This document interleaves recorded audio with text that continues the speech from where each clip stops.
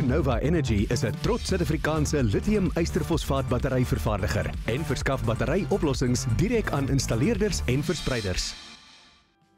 Nou hierdie week is seker die hoogtepunt op die ekonomiese kalender op die finansiële kalender want dit is natuurlik die begrotingsweek van die minister van finansies en net so terloops ons volgende gas volgende week is Ryk van Niekerk en ons gaan reeds begroting begroting begroting gesels. Ek dink is baie belangrik. Net so terloops, ek gaan die die die, die woensdag aand na die begroting rede of nadat die begroting rede gelees is, gaan ek die begroting heeltemal ontleed. So gemaak 'n draai op ons Facebook bladsy en geregistreer daar is vir gratis en verniet en dan gaan pak ek die begroting uit in 'n baie eenvoudige manier dat ons almal weet wat daar aan die gang is. Intussen net 'n paar dinge wat ek dink julle moet na oplet as die minister begin lees. Een daarvan is hoeveel geld gaan die staatsbeheerde instellings kry? Die goeds bankrot, nie meeste van hulle. En uh, die goede staan almal bakkant en ons praat van baie baie groot bedrag geld.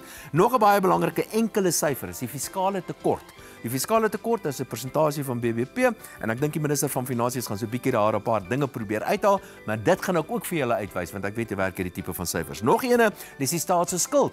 Wat gaan die staat se skuld wees en wat is die minister se verwagting in terme van staatsskuld vorentoe? Want dit gaan dit gaan baie belangrik wees vir goederes soos Suid-Afrika se gradering, rentekoerse, die wisselkoers van die rand en sulke goederes. So staatsskuld. Die goud en buitelandse valuta gebeurlikheidsreservefonds. Dis 'n klomp, dis 'n pot goud wat daar by die Reservebank lê en ek het die idee minister van finansies se neus staan soontoe en hy gaan 'n stuk van daai pot goud vir homself probeer vat want die staatsfinansies is bitter bitter diep in die moeilikheid. Wat se belastingveranderings gaan daar wees? Ek dink die groot belastings gaan onveranderd gelaat word. 'n Paar van die kleinetjies gaan miskien hier en daar aangepas word, maar weer 'n keer, ek sê dit heeltemal ontleed.